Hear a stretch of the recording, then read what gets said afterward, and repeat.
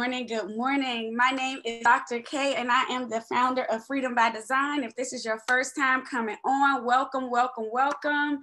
Good morning, good morning, and good morning. You are all in for a treat this morning, so get ready. Go ahead and tag a friend, tell them, hey, Freedom by Design has started. We are ready to rock and roll. So, good morning, good morning, good morning, everybody. Good morning, good morning, good morning. Thank you guys for tuning in and being on. Go ahead, like and share, like and share, host your watch party. Good morning, Charlie. Good morning, good morning. Hey, Lynn. Good morning, Linda. Good morning, good morning, good morning. Hey, Sabrina. Thank you, thank you. Yes, yes, this morning, guys, you are about to get a double whammy. I'm excited this morning as you see our topic, it is behind the lens. So I know y'all see pictures or camera lenses and you like this girl, no, she love to take pictures. She does, but it's bigger than that. It's deeper than that. Good morning, good morning, good morning. Hey, Linda, I pray that all is well down there in Miami, Florida. As y'all come on, go ahead, like and share, like and share. I'm super excited about today and what's about to happen. I know the other morning you were like, well, where, where is she? What happened? Well, girl, my brothers, let me tell y'all what happened. Y'all sister went ahead and went live and did not post it to be public. I had it where only I was watching. So yeah, that did not help us. But good morning, good morning, good morning. Let's get it on. Let's get it on. I see more people coming on. Good morning, Soror Natalie. Good morning, Christy. Good morning, good morning, good morning. All the way from Pennsylvania in the house.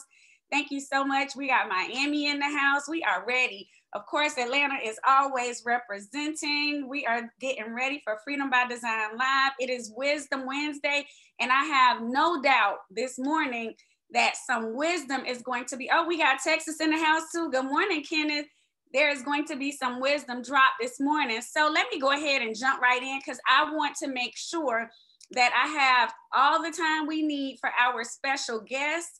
And um, this morning, you see our topic again is behind the lens. Now, many of us spend time taking pictures, be it selfies and all of that kind of stuff. We, um, you see a lot of people getting photo shoots done and all these kind of things. You see a copy of my book cover there, and I'll, I'll talk to you a little bit more about that. But this morning, I want to ask you because a lot of us, we look at ourselves, and when we take those pictures, be it selfie or professional pictures that we're having taken, we look at a million different pictures so we can pick the right one. And you ever wonder why is it so hard for me to pick the right picture? Or for many of us ladies, we'll say the perfect picture that kind of captures the essence of what we're trying to convey. It's because of how we're seeing ourselves. A lot of times we are um, so critical against ourselves. We see ourselves through the eyes of hurt, rejection.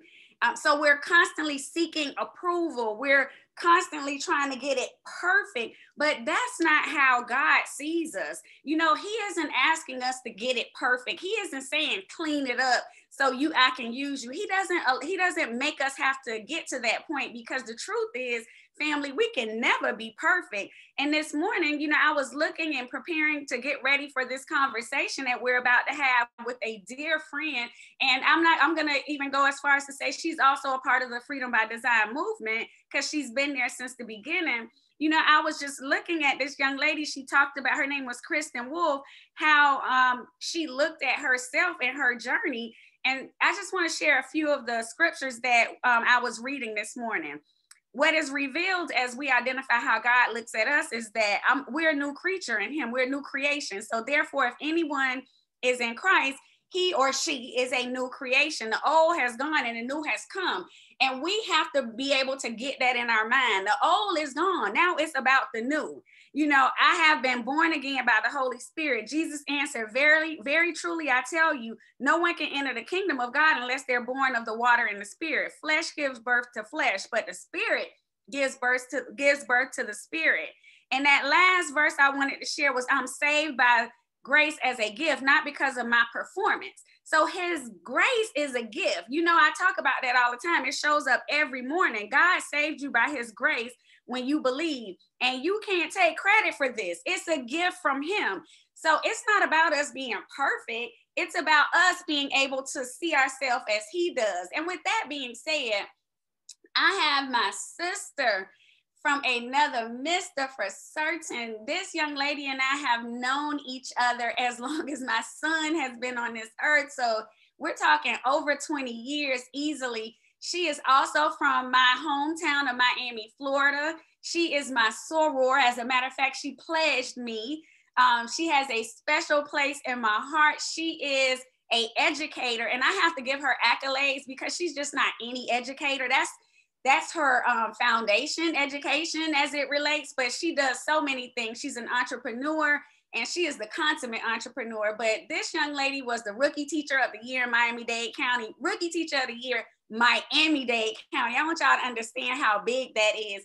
She moved to Georgia and started transitioning. She opened up brick and mortar businesses. She's had boutiques. We have vendor together. We have been on the road with our show. She has her own, um, she is a photographer. She has other businesses she's going to be able to share and talk to us about. Many of you have been able to fellowship and um, patronize her business, and I'm so grateful and thankful for that. Guys, help me welcome our sister, Goldie Love. Goldie, are you there? I am here. Good morning. Good morning, everyone. Good morning. Good morning. I'm excited. You looking good, sis. I see the comments. They say yes, Miami Dade County. Yeah, y'all know how we coming through up here in Georgia. We're doing the thing. So I'm excited. Just a little something in the morning. Of course I woke up like this. you better say it. Good morning, everyone, and thank you all for having me this morning. Girl, yes, looking good uh, early on a uh, Wednesday morning. Yes, she woke up fabulous, oh, jumped right out of bed, morning. jumped into beautiful. I love it. I love it. So, Goldie, um, I have people on right now, some who know you because they were part of the women's um, our tea party that we had because you were a you know a, you were a part of that when we did our detox conversations. You know, you've been on for different events, but just kind of give um, the audience just a little backdrop on who Goldie Love is. My name is Goldie Love. I am a mother, a daughter, a sister, um, a friend, um, an associate, a confidant. Uh, I am an educator. I, I am and will always be an educator. I was formerly a teacher. I am an entrepreneur. I own my own photography studio, Goldie Love Photography. I am a brand architect. I help others build, identify, understand, and construct their brand visually.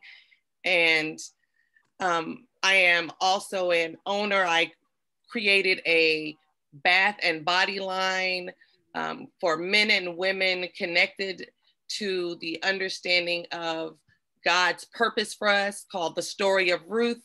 So, um, which is a testament to my mother, who is her middle name is Ruth. So it's kind of, you know, the double entendre on there, you know, and what I have recognized in more recent is I am a grower. Hmm. I hmm. grow personally and I will not stop until I leave this earth. Um, and and in that i help others get unstuck in their growth. Hmm. You know what goldie? That's powerful that you say that. And when you as you said it I, I, had to write it down because i definitely see that you know i know you in a way that most people yeah. don't you know i always say people say oh i know her you know of me but you, you really might not know me know me like right. that but you know as i sit here and i think and i was um, reflecting on my um, scriptures this morning and my meditation and definitely my prayer this morning on the God zone. You know, so many times I know in my own life, I've tried to fix it, tried to do it, tried to get in his way. And we've had an opportunity to kind of walk in our journeys together. Yes. And even when we went separate, we came back and it was as if nothing ever, we never skipped a beat. Absolutely. back um, can, if you want to just kind of talk to us about your journey in that becoming a grower or being a grower, talk to us about that. So, you know, a lot of times when we're going through things and we're on this road and, you know, we've got this plan and this identity or idea of what our life is supposed to be, then we decide, okay, well, I'm going to have this plan, have this life, and by golly, this is what it's going to be. And then real life, it doesn't show up because it's always been there. We just come out of our, our cloud of hope and possibility of what the dream of what we created in our head, never considering God's will for our life. Come on now. So, in those seasons, then we become different. And then you're like, okay, I'm going to come out of this. I'm going to grow in this. So, as I went through and I relocated, I moved, and, you know, and I, then my marriage dissolved. And then I was like, okay, I'm going to grow out of this. And then, you know, a decade went by and I, I would read and I was, uh, you know, personally just introspectively recognizing who I was. And then it was over. And when I say it was over, the season of, okay, you've done the work, you're doing the healing, and I was still growing exponentially. And I was like, well, wait, okay, am I still dealing with that? You know, I'm questioning. And I recognized that much like the earth we live on, when there's a storm, when there's a hurricane, when there's a natural disaster, when there's a pandemic, it does not stop moving. All right now. In that, we change, we adjust, we transform, we gain, we lose, we grow. I, no matter what, I am going to grow and I must walk in that growth. I must understand what it means. I must be responsible for it. So, yesterday is different from today. I must take action according to the lessons and moments that God has put in front of me immediately for myself and others. Um, you know, everybody watched Oprah, the whole gratitude journal. Oh, gratitude, gratitude. And I, I, I did it for years. I'm a journaler to my core but at maybe maybe about three years ago i heard someone say well, what are you grateful for? And i my children are awake and you know i got a job and you can't feel that. Come on now. You you take that for granted. We mm-hmm. take oxygen in our sleep for granted. What i'm happy for today is that yesterday my debit card I swiped and it worked. Because there was a time in my life, not so long ago, that it was a complete prayer like i know it's not there. And i'm not talking like 10 years ago and five years ago. When you walk out and become an entrepreneur i remember leaving my all everything to care for the health of my mother and to i couldn't do it all. I couldn't work nine hours be with my children care for my mother, and something had to give. And what gave was my belief of my career.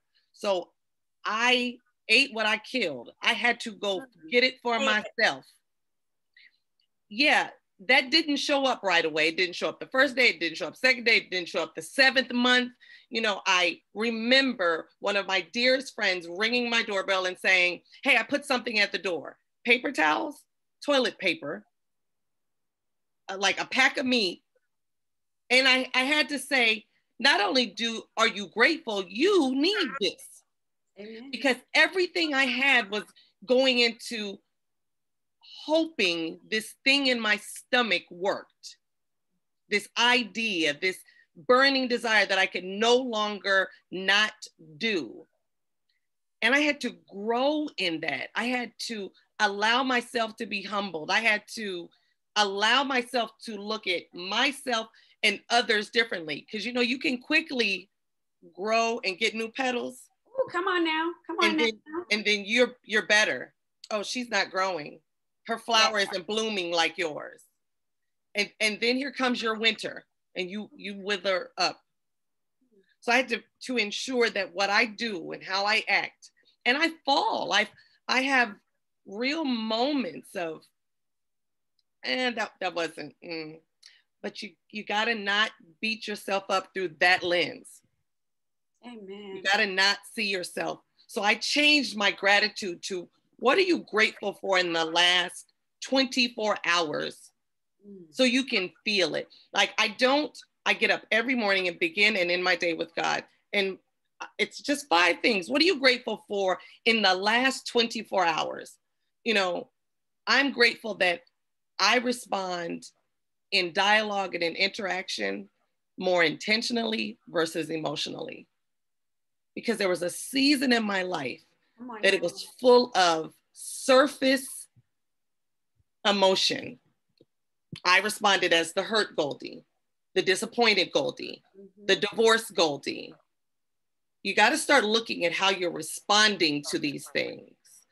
You know, as a photographer, I see others in a way that they don't see themselves. But then, you know, there's there's a couple of angles. I take the picture and I, I see through the scope at the top of the camera. And then when I pull my camera back, there's a screen on my camera that I can see another picture. But when I get home and I'm in my office and I've got my monitors and those images are there, I see it totally different. I see what I missed. Mm-hmm. I see what I didn't focus on. You know, I see where I could have done better. That is what we must do with ourselves. When we first see it happening in front of us. But then when we pull back in front of our children, in front of our parents, in front of our mates, what how are we looking in that moment when we pull back and see it? How are we responding with our words, with our actions? And then when we get quiet in that space with God, on now what did I what did I miss? What did I not focus on? What can I do better? I don't know how to not be that. Surely because of how he has blessed me. And I'm not talking about like cars and homes and right. you know, I I have a roof over my head and I have a vehicle. What he has he has blessed me in um peace.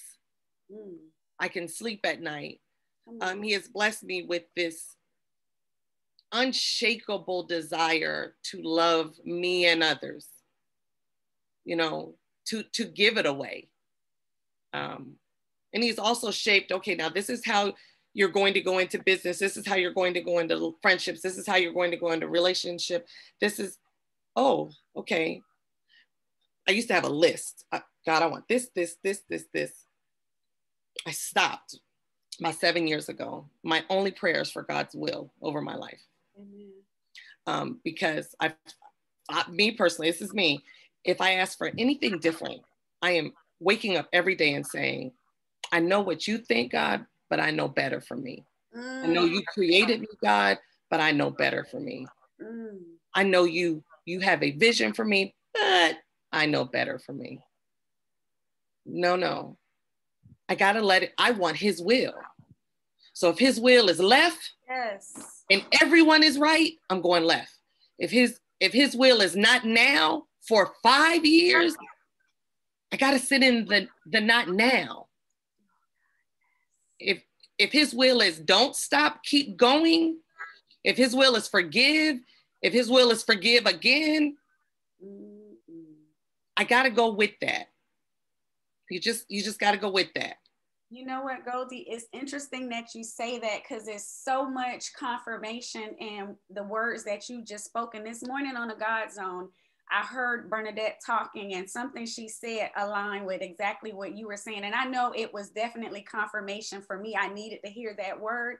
What she said aligned with what you just said, and her words were very simple let God be God.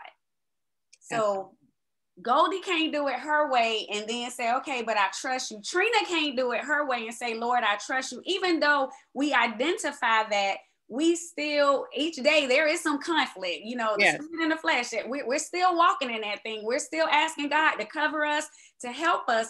But if we gotta let God be God, and as I hear you talk, because our lives and and not just our lives our total being are so parallel because you know i'm a checklist person you know you know i'm a planner just like you i, I want to okay it needs to look like this and we want to do this and you got me at this point and so everybody needs to align and he is saying no Yes. It's not going to look like that. When you yes. talked about the different angles of, or the different levels to the photography, I heard process. You're going to have to trust the process. It might look this way initially, but yes. when you take a second look, when you're able to sit and reflect, okay, I see that. But when you get you out of the whole picture, when yes. you get yourself out and you can really take a look at it and look like, oh my goodness, here are all of my, you know, I'm so yes. busy pointing at why their flowers or their petals are not blossoming. Absolutely. Mine really don't look all that hot either because you know, he gave me a little bit of grace and I didn't took it. And I'm acting like I can take the credit for it. And it does not work that way. But also in your talk and what I know in your life, and as I, I told you told you before, we're gonna be as authentic as we can. There was a process of healing and forgiveness that had to take place. Absolutely. Talk to us about that. You know, um, I, you know, I'm on this you know, coming out of everything. And it was, you know, forgiveness is for yourself, forgiveness is for yourself, forgiveness. And and that worked when I when my children were two all the way to 11. then the Lord blessed me with teenagers. And teenagers see it so different.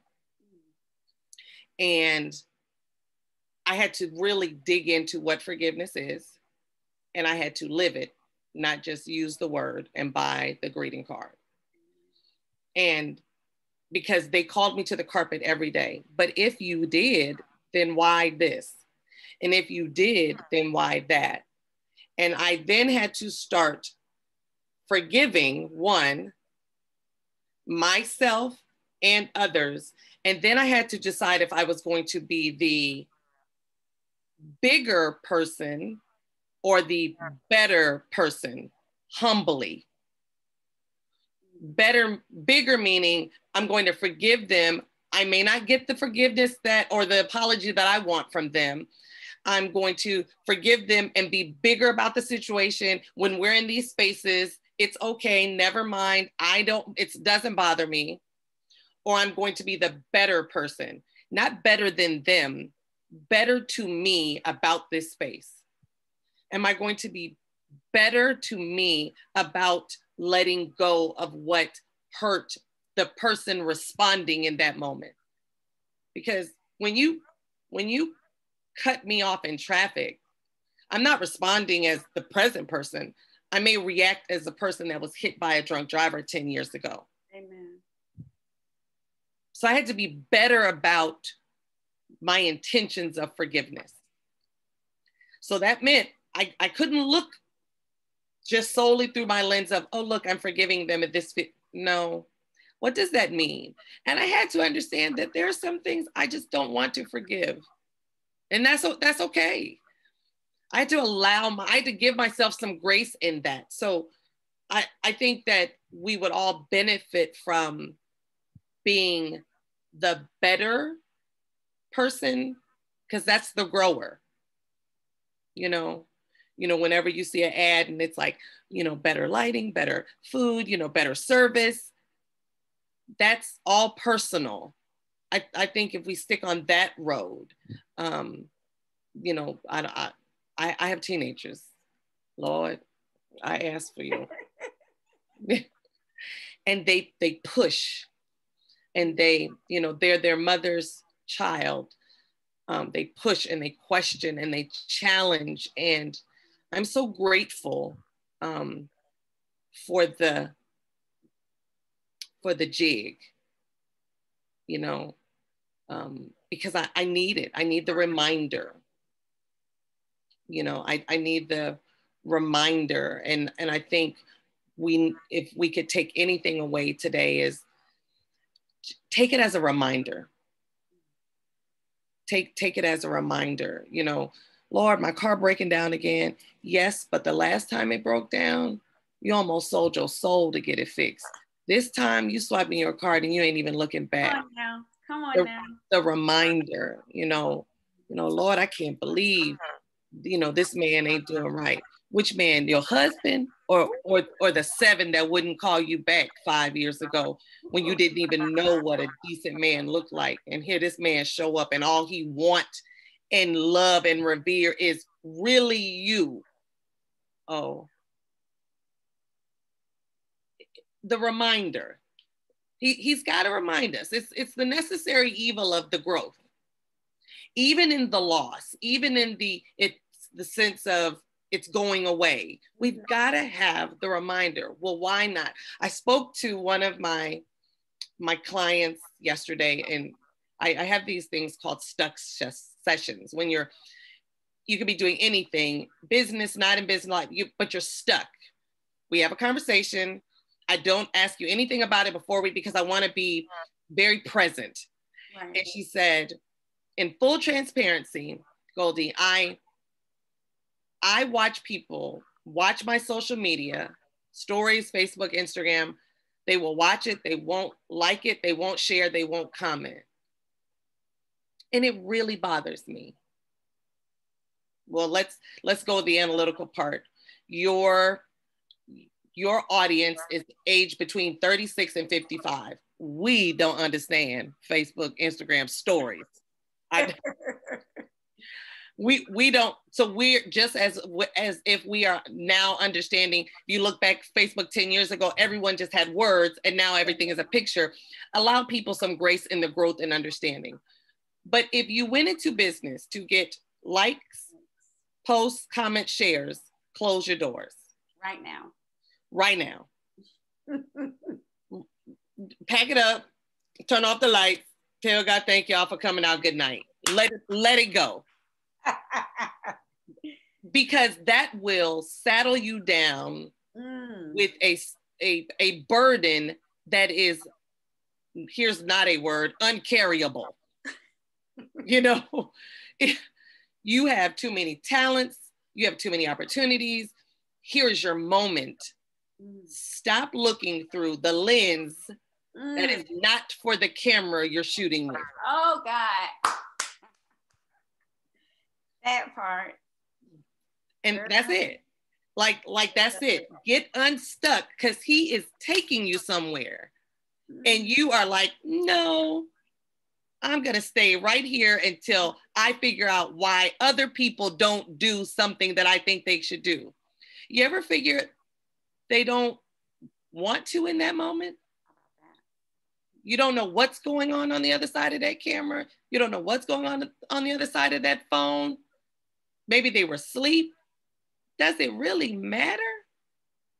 Do what you need to do because we are trusting God's will, not his wallet, not, not what you think will work for you. Mm. I want his word and his wisdom. That's what's encompassed in the will of my life. The rest, yeah, yeah, lanyard. Yeah. You know, it's just extra. Good on that. Absolutely. I love it. I love it. I see so many um, comments. Somebody was like, say it again, please. Like you talking to me, Goldie. So we are approaching definitely the top of the hour. Um, it always seems like it's like not enough time. And I wanted you guys to know that I put the picture, I always get turned up, the picture of the book there because I wanted you to understand that my friend Goldie, she actually took the um, photo for the cover of Exposed. So those of you that are out there, and I know I have some aspiring writers, I have people who are doing all these different things. And you all know I use, I have two photographers that I utilize. As I said, Goldie is more than my photographer, she's my friend.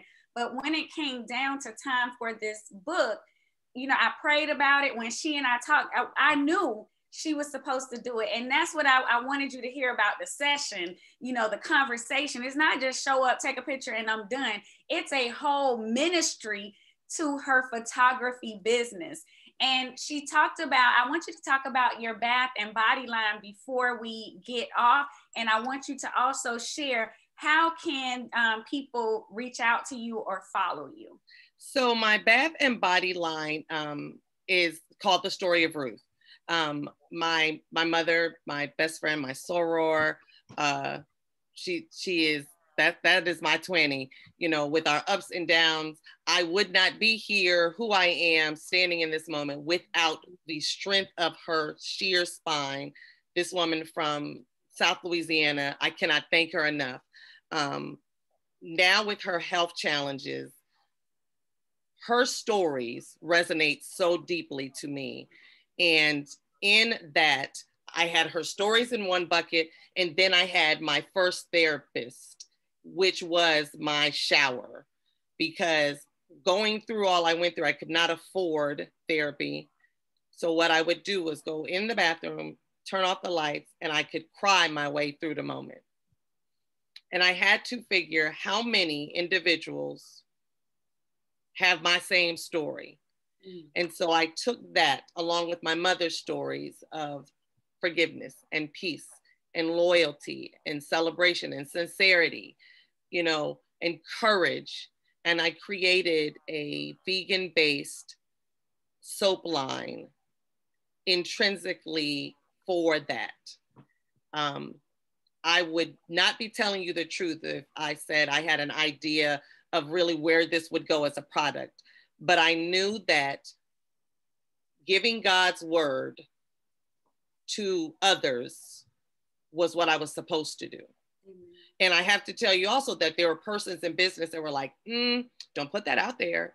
Don't put, because on each bar of soap, it has um, an affirmation, it has a scripture, it has the definition. Like these are things, and and I didn't come up with these, you know, these were real prayed over moments from with women and believers. And you know there was some real push and pulls of because when you are sharing and giving and sending out individuals you know th- this word of god is serious. And and i struggled with the lord is it going to sell us? And he said well i'm not doing this and i don't want you don't do this for money. This is my work that you are doing for me this is a ministry. Um, and and and i am in the season of of making sure that it grows exponentially because there are people that this healing is for. Um, we we gonna get out that shower. We're gonna stop crying. We're going to in that moment commune and and and speak with god so you can either give it to yourself or give it as a gift but his his word we stand on it. It is solid ground. It is solid ground. Um, you can all find me at goldielove.com um, you can go to the contact page and send me a message. Uh, i am super excited. I'm in the process of transitioning my business and rebranding and you know so when the seasons slow down i'll get an opportunity but you can definitely follow me on instagram at i am goldie love. You can follow me on my photography page at goldie love photo on instagram um, goldie love on facebook and goldie love photography on facebook. That that's where i am. Uh, the emails come to me. There i am the team. I am the staff. Come on now. you know, oh, the messages come to me, the information, you know, if you want to have a conversation, if you have a business idea, if you if you want to get unstuck, um, if you want to pray, uh, if you if you want to giggle, baby, I love that. Uh, I, I have been, if you look at the circle of life, I've I've been on this this carousel several times, and um, there's nothing I haven't heard nor said. Amen. Amen. God has brought me a long way. Um, I am not above reproach, correction, or just sheer understanding of human experience. Mm-hmm. I absolutely love people. I do. E- even when I feel as if they don't love me back. And, and that is when I grow the most because God is showing me, you know, because that is what we do with Him. He absolutely loves us. And our walk and our life and our words don't love him back. You know, don't love him back. I'm sitting here and I'm looking.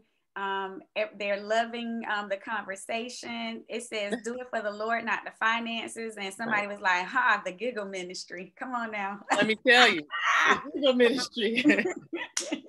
necessary, necessary. about that. Oh my God, the giggles.